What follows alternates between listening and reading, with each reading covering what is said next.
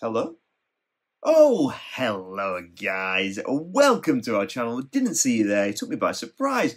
This is your regular dose of Raw news and analysis. And before I move on to any further details on today's Raw topic, I'd love to say a huge thank you for always supporting the channel.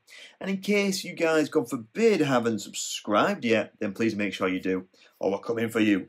And also press that notification bell because we don't want you guys to miss out on any of the upcoming Raw news and analysis over the next few weeks and months. So let's get started today on today's epic video. Now, friends of the Royals have said the family would be hugely concerned if reports of difficulties in Prince Harry and Meghan Markle's marriage turned out to be accurate. Now, as finding a role for a divorced or separated Harry, who decided to return to the UK, would be a bloody nightmare. However, the Friends have emphasised that reports alleging the couple are struggling, all appear to be groundless and based on speculation. A friend of William's told the Daily Beast William and Kate had plenty of reservations about the marriage in the first place, precisely because they feared that Meghan wasn't right for Harry. But what's done is done, and now William, like everyone else, is in the family, just hopes it all works out. Harry returning to the UK and trying to find him a job would be a bloody nightmare. Now, a friend of the King Charles told the Daily Beast the marriage has to work. That's not a case of Charles saying Harry made his bed and has to lie in it. It's a case of a father wanting his son who loves who he loves very very much to be happy and to have his wife and children in his life. These stories are groundless anyway. I don't think anyone is seriously concerned that they are on the point of separation.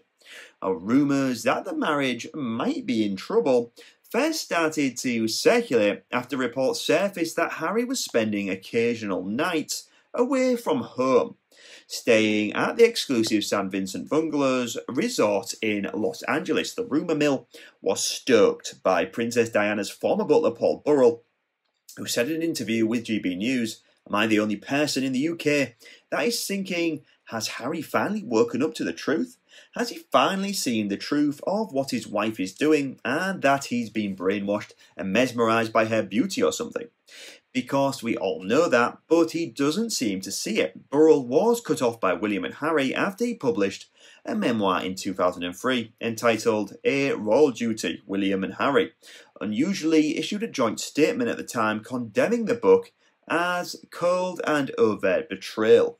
The royal author, Lady Colin Campbell, who is known to have excellent society contacts and was the first journalist to reveal Diana's eating disorder, also told GB News that she had heard from five reliable sources that Harry called in the lawyers some months ago. Reports of growing distance between the couple were also fueled by Meghan's absence from her husband's side as he promoted his memoir earlier this year. Now, when the couple did finally appear together at a New York award ceremony, whew, their re-emergence was overshadowed by claims that they were involved in a car chase, the allegedly perilous nature of which they had appeared to exaggerate. However, the journalist Petronella Wyatt wrote in the Daily Telegraph this week that she believed the couple would never ever split up, citing friends of mine in LA who know Harry and Meghan socially. So, guys, what do you think about the news? Do you think that Harry and Meghan will break up? Do you think Harry desperately wants to return to his family after everything that happened? Please share your thoughts in the comments. Let us know what you think. And we'll see you again soon, guys, for more Raw news and analysis. Bye for now.